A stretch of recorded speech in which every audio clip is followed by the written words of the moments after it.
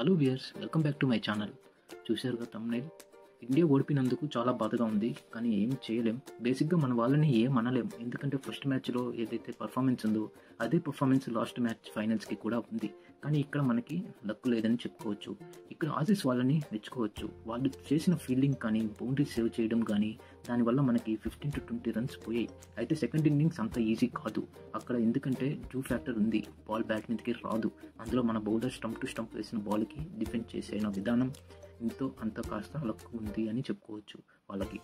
అయితే ఇక్కడ ఎక్కడ మనం గివప్ ఇవ్వలేదు. టార్గెట్ తక్కువ ఉన్న మన బౌలర్స్ ఫార్టీ త్రీ ఓవర్స్కి కంప్లీట్ చేశారు ఆ టార్గెట్ని అయితే ఇక్కడ ఇంకోటి మనకి ఇలా ఉంటే అక్కడ స్టేడియంకి వెళ్ళి ఎంకరేజ్మెంట్ చేయాలనుకున్న నూట ముప్పై లక్ష ముప్పై వేల మంది గురించి తలుచుకుంటే చాలా బాధగా ఉంది.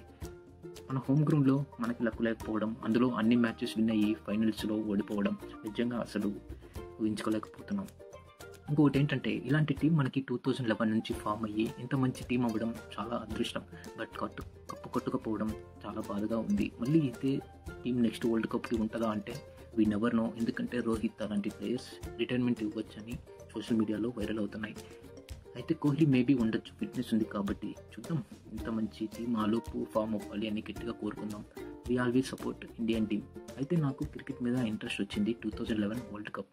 ఆ రోజు ఎంఎస్టీ చేసిన ఫినిషర్ పర్ఫార్మెన్స్కి ఫిదా అయ్యా. అప్పటి నుంచి స్టార్ట్ అయ్యి ఇదిగో ఈరోజు అలాంటి వరల్డ్ కప్ గురించి మాట్లాడుతున్నందుకు చాలా బాధగా ఉంది.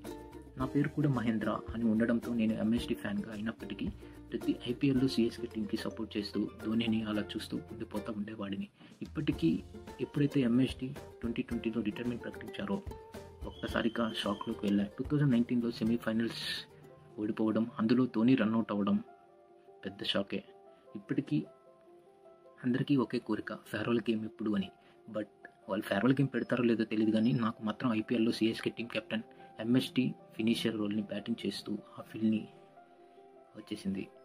ఇంక ఈ twenty twenty three world cup గురించి చెప్పుకుంటే రికార్డ్సే రికార్డ్స్ అప్ప మూత మోగిపోయింది. ప్రతి రికార్డ్ని బ్రేక్ చేసిన వరల్డ్ కప్ అంటే అందరికి గుర్తొచ్చేది ఈ వరల్డ్ కప్. కానీ ఇండియాకి మాత్రం పెద్ద డిజాస్టర్ అని చెప్పుకోవచ్చు. నూట ముప్పై కోట్ల మంది ఎదురు చూస్తున్న ఈ వరల్డ్ కప్. మన మంది కాకుండా పోయింది. మన టీంని ఏం అనలేం కానీ ఎందుకంటే ఆల్మోస్ట్ రికార్డ్ చేసిన టీం మందే ఈ వరల్డ్ కప్లో. అంత రికార్డ్స్ ఉన్న ఈ జనరేషన్కి గుర్తుండిపోయే వరల్డ్ కప్ క్రికెట్ అంటే ట్వంటీ ట్వంటీ త్రీ. అంతే. Thanks for watching this video నా వీడియో నెక్స్ట్ రికార్డ్స్ ఏ రికార్డ్స్ బ్రేక్ చేశారో వాటి మీద చేయ చేస్తాను. తప్పకుండా చూడండి. Please to subscribe like and share bye bye